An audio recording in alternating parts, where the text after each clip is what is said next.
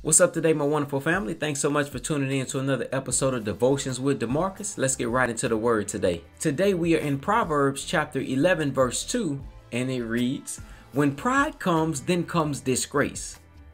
But with humility, I'm going to say it again. Let me make sure my mic on. All right, there we go. We good. But with humility comes wisdom. Y'all, we got to walk in humility.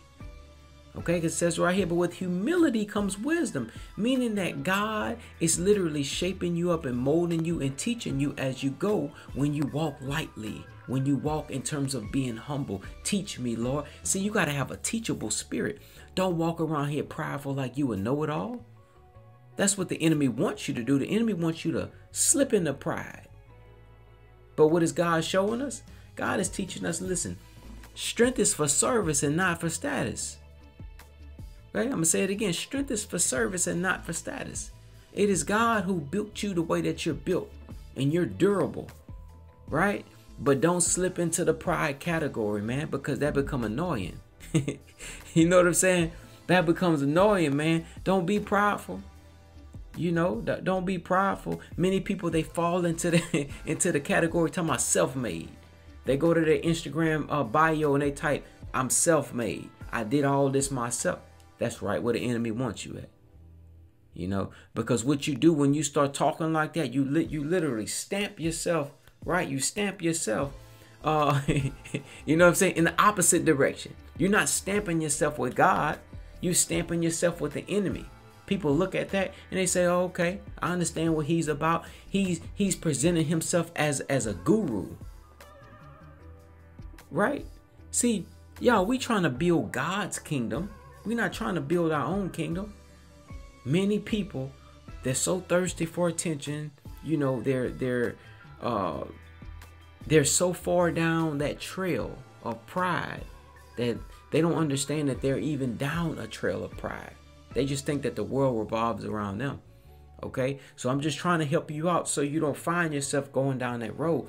And perhaps if you are going down that road, understand that today's your day, right? To turn around. Simple as that. You know, you could pray to God, say, Lord, I submit my life to you. I don't want to be prideful. I want to be used by you. Forgive me for being prideful. Show me your ways, Lord. I, I want to I open my heart to you. I want a teachable and a reachable spirit. In Jesus' name, amen. Like you gotta you gotta talk to God. Understand God can make the crooked thing straight he can make that incision with precision that leads you to the decision to walk in humility. Because right here, with humility comes wisdom. That's that's when that's when you get more revelation. You understand? It says right here, but with humility comes wisdom. Think about it in the classroom. Let's just say high school, 11th grade, right? 10th grade, right? I'm not sure. Whatever grade you want to use. Like, if you go ask the teacher a question, like a homework question, hey, on the homework page 382, uh, I'm having trouble with number three. I couldn't figure it out. Do you mind uh, helping me with it? Teacher will be more than happy to help you. Why? You came humbly. You're walking in humility. You're asking the teacher for their guidance. They'll stay after class, man, and spend three hours trying to help you understand the math problem. You know what I mean? But man, if you too prideful, Man, ain't nobody. Hey, that teacher ain't staying at the class for nothing, man. I'm trying to tell you, humility is what's gonna get you the wisdom, right? Let me see if I got anything else in my notes. Look, pride is isolating and limiting. When you're prideful, man, you you, you isolate and it limits you. You you can't go no further being prideful. Now the enemy will take you up, but it's only to pull from what's under you to make to embarrass you, to make you fall on your face. So pride is limiting and isolating, y'all. You know what I'm saying? And, and, pride will fool you. See, pride pride will present itself as strength, but it but it's really not. You understand what I'm saying? It's all a trick of the enemy. You know? Let's pray together. Father God, we thank you for giving us another wonderful day. We want to say we love you. We understand, Lord, that strength is for service and not for status. Lord, we, hum- we humbly come to you. Lord, say, forgive us for all of our sins. Lord, if we've been prideful, please forgive us.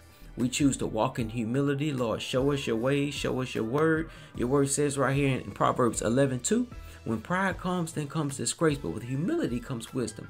Lord, teach us. We're able and available, meet for the Master's use. We open our hearts to you today and we choose to walk in humility.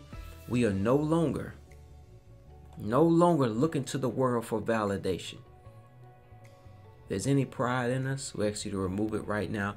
Cleanse us. Your word says, creating us a clean heart, Lord. Renew a right spirit within us.